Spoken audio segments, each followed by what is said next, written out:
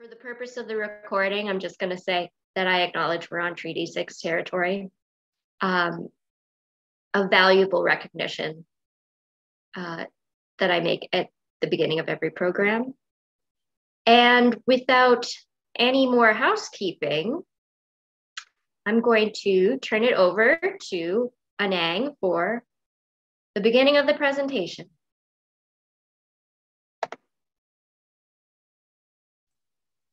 Good evening and welcome to the Sustainability Speaker Series event for April. Before I introduce today's speaker, I'll say a few words about the Saskatchewan Environmental Society. The Saskatchewan Environmental Society has been operating since 1970 on important issues such as sustainable energy and climate solutions, water protection, biodiversity preservation, and reduction of toxic substances in our environment. If you aren't already a member, we encourage you to join. You can always find out more about our diverse projects, activities, and how to get involved by checking out our website at www.environmentalsociety.ca. If you would like to receive email notifications of future events in the Sustainability Speakers series, you can send an email to the Saskatchewan Environmental Society and the email address is info, so I-N-F-O, at environmentalsociety.ca. In your email message, ask to be put on the list of people to be notified of events in the Sustainability Speakers Series. This evening, our speaker is Joanne Fedyk. Joanne Fedyk is the Executive Director of the Saskatchewan Waste Reduction Council, an organization that is working towards a waste-free Saskatchewan. The Saskatchewan Waste Reduction Council hosts hosts conferences and events for the waste reduction industry and maintains a database of recycling options for Saskatchewan residents. They also promote composting and supports the development of producer responsibility programs for products and packaging. Joanne's educational background is in home and family economics. Joanne will give an overview of plastic pollution and efforts globally, nationally, and locally to identify solutions. The title of Joanne's presentation is Plastics, We Can't Recycle Our Way Out of This. And with that, I'll turn it over to Joanne. Thank you, Anang.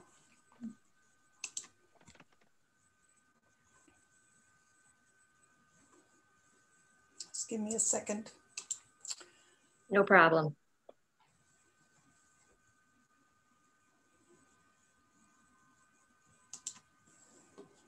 Okay. Um, hmm. All right, so thank you to the Saskatchewan Environmental Society and the Saskatoon Public Library for the opportunity to share some thoughts with you on plastics. Um, the Waste Reduction Council has its own land acknowledgement. Uh, we operate as a provincial organization, so we like to sort of speak for the whole province. So Saskatchewan has long been home to the Plains Cree, Woodland Cree, Swampy Cree, Dakota, Lakota, Nakota, Saulteaux, and Dene First Nations. We recognize their traditional territories and the homeland of the Métis. Saskatchewan Waste Reduction Council respectfully acknowledges the historic and ongoing care of these lands and stewardship of the environment. We are all beneficiaries of the numbered treaties and we reaffirm our relationship with one another. So the title of the talk today is Plastics We Can't Recycle Out of This, Our Way Out of This, or for the Sherlock fans, uh, Recycling the 9% Solution. Um, Anang mentioned in the introduction um, the things about the Waste Reduction Council that I was going to say on this slide. I forgot I wrote all that stuff. So there you go. This is our website. This is, um, hang on, one more thing. I'm make a laser pointer. This is our database where you can put in community and material. Um, our most recent conference coming up And uh, we have virtual repair cafes right now in pandemic times. So the next one that's coming up is very soon. It's April 10th. So on Saturday, we're going to have virtual repair cafe. For today, uh, hang on. My outline for today, uh, I'm going to give you a brief history uh, in the form of a video of plastics, where they came from and how they got started. And then I'm going to, it's a very large topic, all the things you can say about plastics, there's many things. So I've picked a few of the issues to talk about, um, talk a little bit about what's been happening with the province and the national picture and some solutions. So.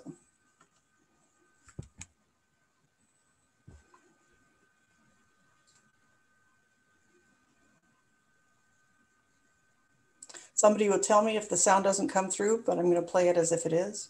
I will let you know. Sounds good. Today, plastics are everywhere. All of this plastic originated from one small object that isn't even made of plastic. For centuries, billiard balls were made of ivory from elephant tusks. But when excessive hunting caused elephant populations to decline in the 19th century, billiard balls makers began to look for alternatives, offering huge rewards. So, in 1863, an American named John Wesley Hyatt took up the challenge. Over the next five years, he invented a new material called celluloid, made from cellulose, a compound found in wood and straw. Hyatt soon discovered celluloid couldn't solve the billiard ball problem. The material wasn't heavy enough and didn't bounce quite right, but it could be tinted and patterned to mimic more expensive materials like coral, tortoiseshell, amber, and mother of pearl. He had created what became known as the first plastic. The word plastic can describe any material made of polymers, which are just large molecules consisting of the same repeating subunit. This includes all human-made plastics, as well as many of the materials found in living things. But in general, when people refer to plastics, they're referring to synthetic materials. The unifying feature of these is that they start out soft and malleable and can be molded into a particular shape. Despite taking the prize as the first official plastic, celluloid was highly flammable, which made production risky. So inventors began to hunt for alternatives. In 1907, a chemist combined phenol, a waste product of coal tar, and formaldehyde, creating a hardy new polymer called Bakelite. Bakelite was much less flammable than celluloid, and the raw materials used to make it were more readily available. Bakelite was only the beginning. In the 1920s, researchers first commercially developed polystyrene, a spongy plastic used in insulation. Soon after came polyvinyl chloride, or vinyl, which was flexible yet hardy. Acrylics created transparent, shatterproof panels that mimicked glass. And in the 1930s, nylon took center stage, a polymer designed to mimic silk but with many times its strength. Starting in 1933, polyethylene became one of the most versatile plastics, still used today to make everything from grocery bags to shampoo bottles to bulletproof vests. New manufacturing technologies accompanied this explosion of materials. The invention of a technique called injection molding made it possible to insert melted plastics into molds of any shape where they would rapidly harden. This created possibilities for products in new varieties and shapes, and a way to inexpensively and rapidly produce plastics at scale. Scientists hoped this economical new material would make items that once had been unaffordable accessible to more people. Instead, plastics were pushed into service in World War II.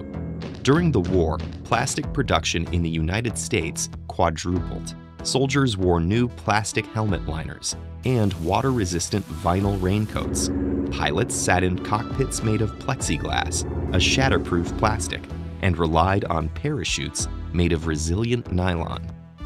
Afterwards, plastic manufacturing companies that had sprung up during wartime turned their attention to consumer products. Plastics began to replace other materials like wood, glass, and fabric in furniture, clothing, shoes, televisions, and radios. Versatile plastics opened up possibilities for packaging, mainly designed to keep food and other products fresh for longer. Suddenly, there were plastic garbage bags, stretchy plastic wrap, squeezable plastic bottles, takeaway cartons, and plastic containers for fruit, vegetables, and meat. Within just a few decades, this multifaceted material ushered in what became known as the plastics century. While the plastics century brought convenience and cost effectiveness, it also created staggering environmental problems.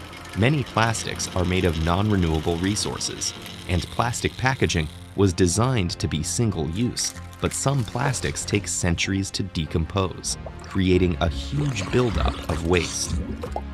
This century we'll have to concentrate our innovations on addressing those problems by reducing plastic use, developing biodegradable plastics, and finding new ways to recycle existing plastic.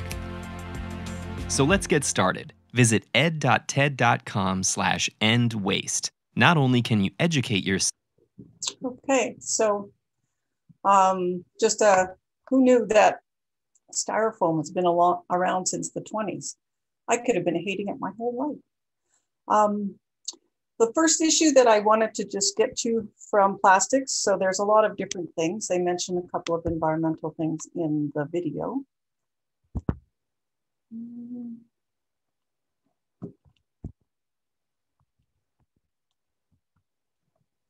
Sorry. There we go. Okay. So the first thing that um, I want to talk about in plastics is what it's made from.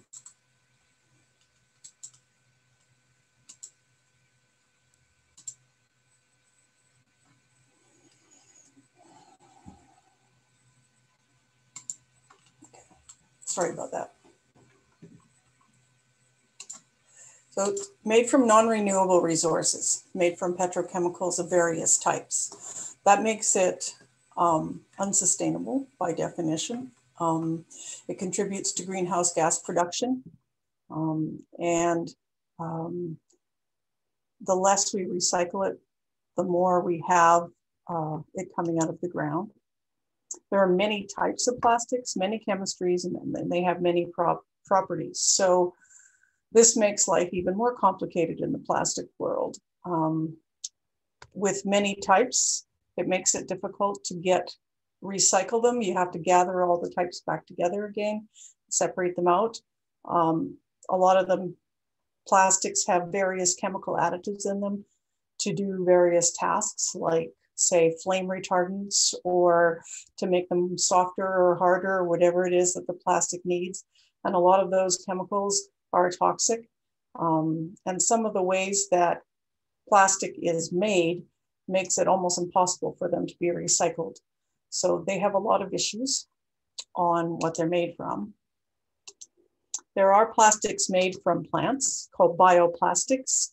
Um, and some of these are created so that they're chemically identical to plastics from petrochemicals, which then puts them in the same basket with the same problems as the other ones. They are also typically a contaminant in regular recycling programs because they don't, if they do degrade, then they um, are a contaminant for the things that don't. The second issue for plastics is what it's used for. So we have a durable, versatile, flexible product, and 40% of it is used to produce packaging, which has a singular function and then it's intended to be discarded. So a lot of the plastics that we have, we could find something else to use for that. Um, we also, um, in the grander scheme, besides just packaging, although I'm mostly focusing on packaging today, um, need to find solutions for the plastics that are in textiles and all the other things that plastics in in uh, in the world. So all of them need end of life solutions or uh, avoidance solutions. So plastics, using plastics that are durable, um, it's kind of dumb for things like this, where there's bottle caps and things that are meant to be used once. Um, I found this quote when I was doing my research and I like it very much. The single use plastic grocery bag, which was born about 50 years ago, is the answer to a question no one was asking and the solution to a problem that didn't exist. The reason that we have plastics being used for packaging is not necessarily because plastic was the option, the best solution for packaging. It's because plastics makers were looking for more things to do with their products. And it, it's used to keep things fresh, but it gets taken to extremes at some point. This is not, I believe, a Canadian supermarket, but you might notice that even the carrots have wraps on them. Another issue with plastic is end of life infrastructure. There's a reason why recycling isn't the solution. So first of all, with so many different types of plastic, it causes a lot of problems. The sheer amount of plastic as well. So plastic production has doubled between 1999 and 2010. So there's more plastic um, since 2000 been created than ever before in its whole existence. So we're continuing to produce more and more of it, and we are producing more and more types. And if you are putting it into consumers' homes and you're trying to get it back out again, the fact that you have a whole bunch of different kinds makes it very difficult to um, get them back in enough quantity that you can do something with them at the end. The recycling infrastructure that we have is not really equipped to handle the changing plastic packages that are out there. Um, so, and it, it can be, but it takes a lot of retooling to do that. So when the first recycling for sorting, sorting facilities were put into place, um, maybe about 15 years ago, 20 years ago, um, they were designed to take all of the materials that are in the blue box and that are all mixed together and sort them back out again. And in doing that, some of it mostly by mechanical and a little bit by human sorting, um, the premise that they used was paper is flat, plastic is round. Plastics were bottles and yogurt tubs and that sort of thing. And paper was flattened cardboard boxes, newsprint, office paper. And so the whole thing is set up so that when it rolls off a particular sorting line, all the flat stuff shoots off in one direction and all the round stuff falls in a different place. And um, with all the plastic that has become part of packaging, this here is a plastic pouch. It's flat. And lots and lots and lots of stuff comes in plastic pouches now. And um, the box is still flat, but both of these are going to end up in the paper stream. So um, that's going to make it a lot more difficult to have even just good recycled paper, which there are good markets for and that kind of thing. So um, that is a problem. I mean, it is possible to recycle, to have other ways to sort those things, but the equipment's expensive and they have to all be put together. So ocean plastic is another issue with end of life plastics. Um, the most famous quote now, I think, is that you know, in by 2050, there'll be more plastic in the ocean than fish if we go on the way we're going. So it certainly received a lot of attention around the world. Um, and there's a lot of, um, there's companies trying to find ways to recover ocean plastic and recycle it into new products. Um, there's more work being done. Um, a lot of the ocean plastic hits the ocean because uh, plastic in countries that don't have good waste management systems just ends up in the rivers and flows straight to the ocean. So there's work on that, but there's still a lot of things to do in there. Farther inland, like us in Saskatchewan, that don't have ocean plastics to um, sort of see every day, this is our view instead. So we have litter and windblown debris that we end up dealing with plastic in quite a lot. Um, plastic bags, things that are light like plastic bags blow around. Um, anywhere you look that there's litter, there's always plastic in there. And um, this is what happens when you make a product that's designed to be used once with a package, a material that's designed to last for a long, long time. Not a good match. Um, they also have a problem with um, plastic bags, especially uh, at landfills, where they blow around so much that they end up having to put up special fences to catch them all and then pay people to go and pick up all the plastic bags. And um, so it's a, they're quite a headache.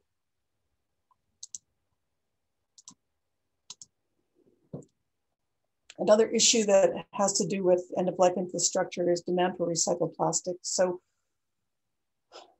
virgin plastic um, mimic mirrors the price of oil. It's made with oil products.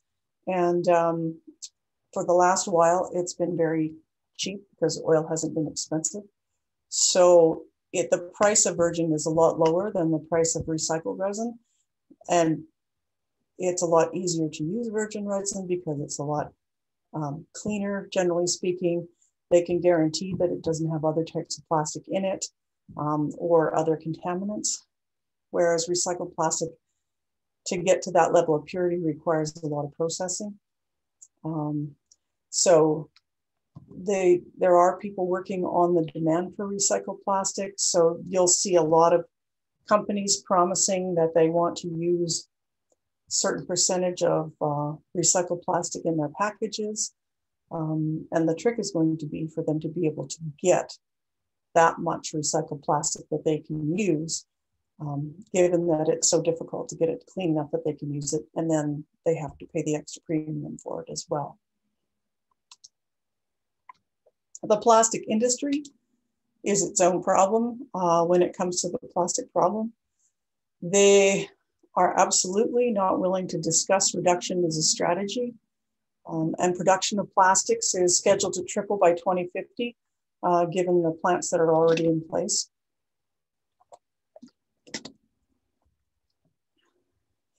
And when this is straight up gossip, but uh, when the uh, federal government started to talk about how they wanted to have a strategy for zero plastic waste, the day after they announced it, the plastic industry was in the environment minister's office saying, but you don't mean reduction, do you? I mean, we go along with zero plastic waste, but we don't go along with zero plastic. Um, it's been a strategy of the plastic industry um, in North America to try and push the responsibility for plastics and the proper use of plastics and the proper end use of plastic onto consumers. Um, so they started with establishing this KAB stands for Keep America Beautiful. It's basically an anti-litter organization heavily funded by the message out there. It's our fault that plastics are being littered in the environment, and it's on us to fix it. Um, and so they've managed to keep the focus on individuals rather than the industry for quite a long time. The plastic industry also um, lobbies against bag bans and single use product bans. Um, if, at least in the past, when a community would start talking about the potential for um, a bylaw that would uh, take plastic bags, say, uh, disallow plastic grocery bags or something like that, plastic bag industry would come to town and um, start talking to people about um, all the benefits of plastic bags and how dirty reusable bags are and all those sorts of things. Um, they have quite a few, what are they called? AstroTurf groups, you know, fake grassroots groups that they fund so that they can get out the true facts about plastic bags. Um, they took uh, the city of Victoria to court a couple years ago for their plastic bag ban. Um, and uh, so they're, they're very aggressive. Um, in the States, they have successfully lobbied quite a few of the states, governments, and have uh, laws in place that don't allow communities to put in plastic bags bans. So anti-bag ban laws.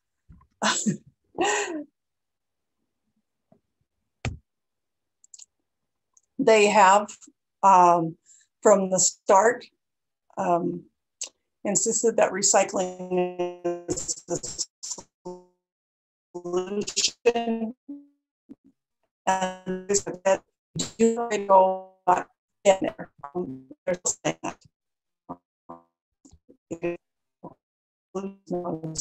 They're.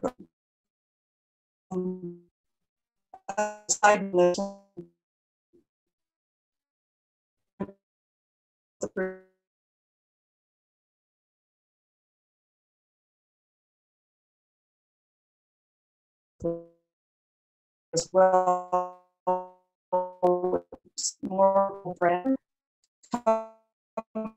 companies that produce products that then need for something and besides plastics for their containers um, they can find other ways to do things and there are a lot of movement on this case of brand owners um, to look at reducing the amount of plastic they use and another issue with plastics, uh, we'll just call it China. Um, so for about 20 years, China gave us a no questions asked outlet for plastics. Uh, when I first started in this game, which was more than 20 years ago, um, we despaired over being able to recycle our plastics because no one wanted them and there were no markets. And, and we, we just desperately wanted to recycle our plastics. And then all of a sudden, it was like, yeah, no, we can do that we can we can take your plastics. We got a market for it. No worries, no worries, no worries. And um, so for quite a long time, uh, we just threw everything that we had that was plastics into the bin, and it got taken care of somehow. And um, so China was getting not only all the plastics they wanted, but a lot of what they didn't want. And some bad actors were giving them straight up garbage and pretending it was plastic. And so eventually China said, no, we're not going to do this anymore. And they stopped importing plastic completely. Um, they also have their own, some of their own sources for post consumer plastic now because they have their own middle class that's generating some that their companies can use.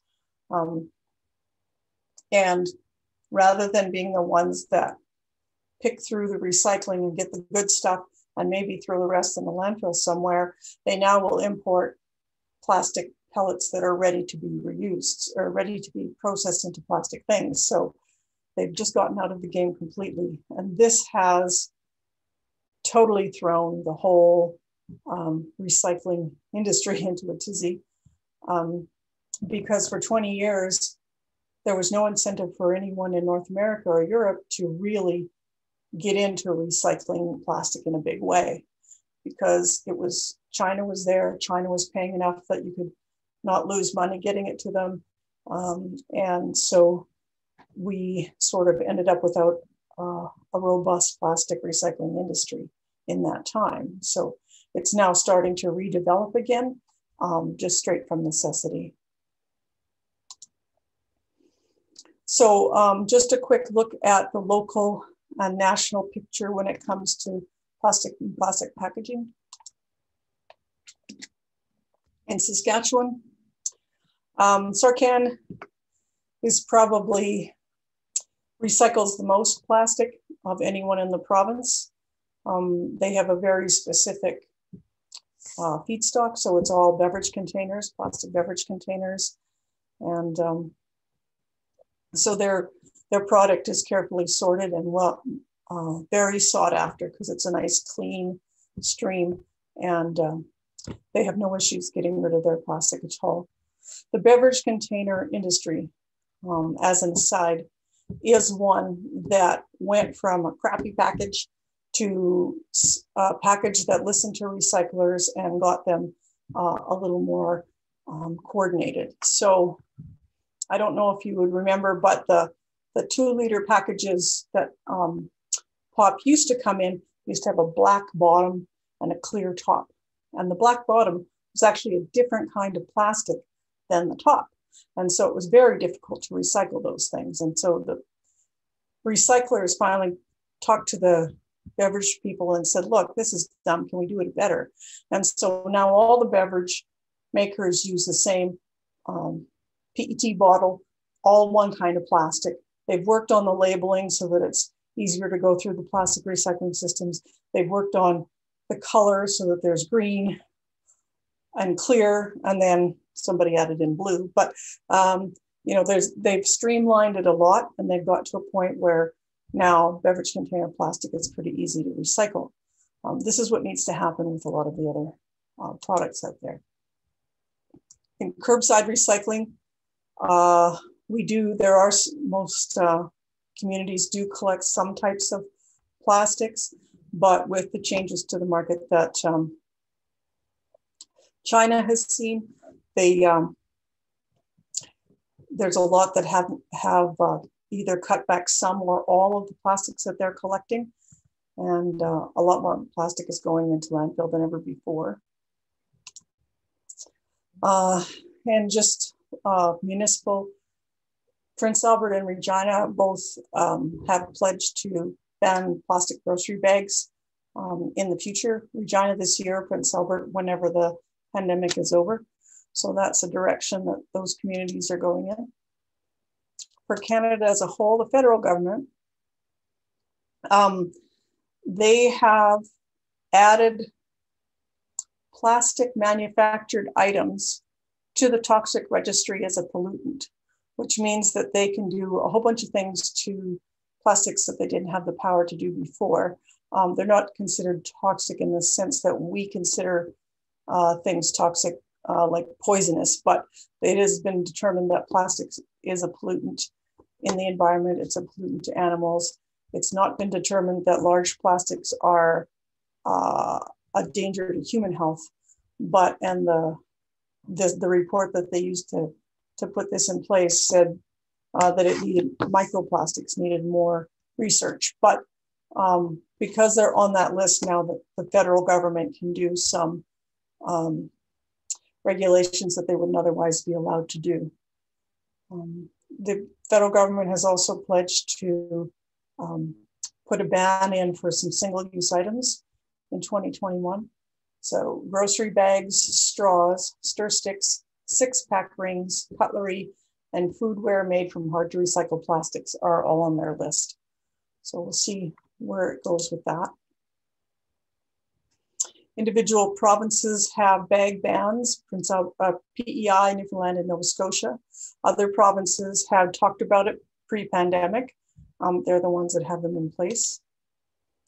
Um, another direction that provinces have gone is to get a lot more collaborative with the industry. And so Alberta is a um, plastics producing province. So they have started an alliance with plastics producers, brand owners, a whole bunch of different stakeholders to try and work towards zero plastic waste altogether. And so we'll see where they go with that.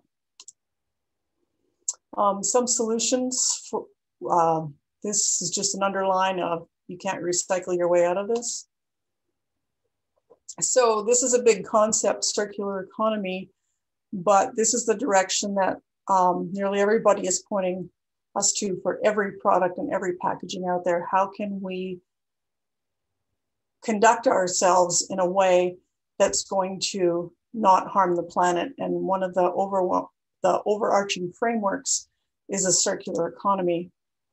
So this is a complicated schedule um, that the Ellen MacArthur Foundation uses to try and put together the parts of the circular economy. And it basically um, splits the world into two pieces. One is what they call technical inputs, and the other is biological inputs.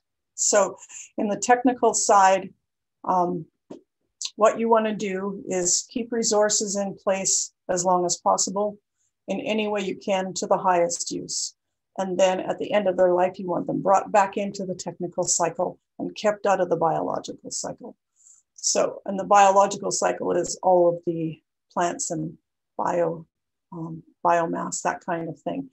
and they have it has its own cycle that follows nature. So uh, when it comes to plastics and the circular economy, what you want is the same thing you want for everything else. You want to be able to extend its life to the highest use possible, and recycling is at the very end.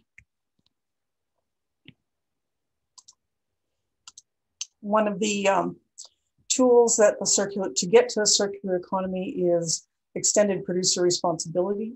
This is a, a, a, a way of doing things that um, requires the producers of a product to take on the responsibility for the product through its entire life cycle, including the end of life. For plastics per se, um, British Columbia has a program that the producers take care of all of what goes, all of the materials that go into the blue box, including all the plastics. And um, we have in Saskatchewan a partial system where the producers pay um, the municipalities for uh, a portion of the costs of the blue box to help them out, but the producers don't have operational responsibility for the system yet. And the theory is that once producers have operational responsibility, then they can start seeing where they could redesign packages, substitute out things that aren't uh, easily handled at the end of life, that kind of thing. And key to circular economy and basically everything is the concept of design. When things are being designed, those decisions are almost the most important that you can possibly make because that determines what everybody else in the product's life or uh, anywhere has to deal with. You know, if you decide to use a plastic piece that's going to break and not be able to be repaired in your widget, then that everybody, the person who buys it has to deal with that. The person who might try to recycle it or fix it has to deal with that. Design is key. And so there needs to be a lot of work on having the right design and the right materials and the right design. And of course, the Waste Reduction Council's favorite uh, strategy, a solution is reduction, uh, looking at ways to reduce, avoid, substitute uh, for plastics. And this photo is a um, from the seventh generation website. The seventh generation company uh, wanted to see, wanted to start looking at the monoplastic that they use, and they decided to see what would happen if they did, went zero plastic. Um, they didn't do it for all their lines, but when they started to think about how they would do this, they realized that they could no longer ship liquids um, in non plastic containers. So they changed their product to be a solid so that they could ship it in these metal containers. Um, so, in order to reduce plastics, they actually changed their product. Now, that's thinking and that's reduction. Reuse. Um, so a, a, good news story there is that um, there's a, a, company that's working in Europe and starting North America. We have it in Toronto that's based on essentially the milkman model of old. So they've designed, put a lot of work, again, designing into the packages, um, and they've made them reusable. So they deliver the package to the consumer or the product to the consumer, and then they collect the package back, run it through washing, put it back out again. So we'll see how far that goes, but it's uh, kind of a neat idea. And then there's uh, bands. It's a solution that's certainly come up um, of various things. And given how much, how many different kinds of plastic there are, how many different kinds of packaging there are, um, I'd like to see some simplification. And if we have to ban to do it, fine. I'd rather find another way, but really we need to make things simpler if you want to get all these things back and everything. So, um, and then just finally, a couple of words about chemical recycling. Um, this is something that's come up in the last few years, and it's a very appealing idea where um, traditional recycling is like cleaning up the plastic, shredding it up, melting it and putting it back into a new product. Chemical recycling breaks the plastic polymers down into monomers and then recombines them. And so it has the, the potential for um, getting rid of all the, a lot of the problems with mechanical recycling. But um, so far, it's not looking like it's going to be the answer either. Um, the chemical recycling things that I've um, been told about, they, I thought you'd be able to take all the plastic, break it down, combine it however you wanted to, and make new plastic. But it's tends a lot of them are still at the bench phase. A lot of them are um, single type of plastic into a single type of plastic, which is good, but it's just not as useful as I thought it was going to be. So, um, and that is my remarks. Thank you.